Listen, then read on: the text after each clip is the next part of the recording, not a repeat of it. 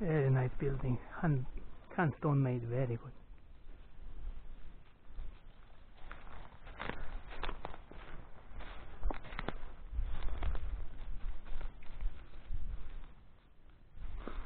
I don't know, but I think that before here was some small bridge.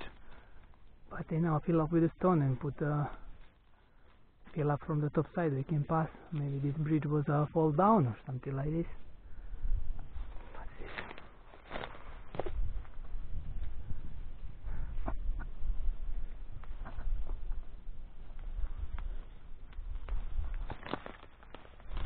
დაბასბას, დაბასბას.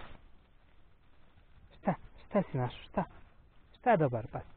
A? Oh, very good, very good.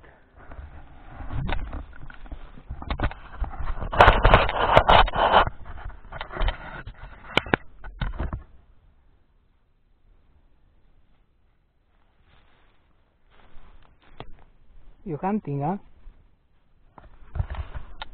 So we have now the sunshine, very good. I just stop here to see this um, small stone uh, constructions uh, from a long time ago. So we continue now to the Toronto Dublin. So it's around maybe 1.5 kilometer from here. So that will be it will be about 20 minutes, something like this. So so good. Okay, let's go.